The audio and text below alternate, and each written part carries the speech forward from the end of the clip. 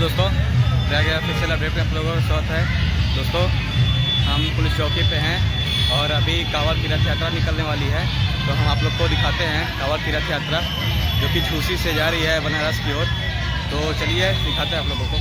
ये देखिए कावर के भाई लोग।